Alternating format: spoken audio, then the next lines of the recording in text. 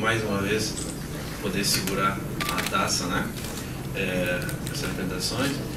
É, o Alcindo já participou de uma Copa do Mundo, sabe quanto é importante para um brasileiro ser jogador de, de futebol. Mas retornando lá, 90, 94, né? o Brasil fazia 24 anos que não ganhava uma Copa do Mundo.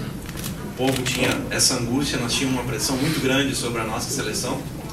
Mas era uma seleção formada por jogadores de muita personalidade, personalidades muito fortes, né? Então a gente fala que um grupo não pode ter jogadores de muita personalidade juntos.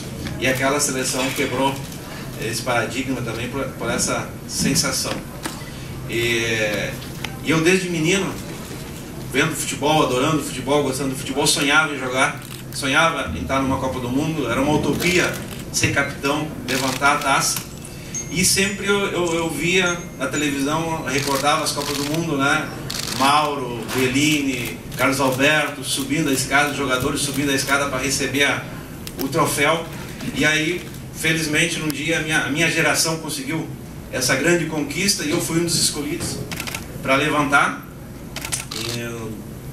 São 20, 20 pessoas que conseguiram levantar essa taça, eu fui um dessas. O Brasil tem 200 milhões de, mais ou menos 200 milhões de habitantes e eu estou entre os, os 120 mais ou menos que foram campeões do mundo, então isso não tem, não tem orgulho. Então numa, naquele momento de levantar essa taça não, não, tem, não tem como descrever. Tanto é que não tem como descrever que às vezes eu fico parado em casa lá pensando se realmente eu tive essa oportunidade, se realmente era eu que erguia a taça. E ontem, né, essa noite eu não dormi direito, eu acordava tudo porque fica passando na tua, na tua memória a imagem né, de mais uma vez poder estar presente daquilo que representa o futebol mundial, que é a taça. E a minha geração eu tive o privilégio de poder levantar e conquistar essa taça para o Brasil depois de 20, 24 anos. E mais uma vez essa taça está no Brasil, né? E a gente tem certeza que ela vai ficar aqui no Brasil mais uma vez campeão. Obrigado. Obrigado, Dunga. Realmente foi uma emoção grande 94.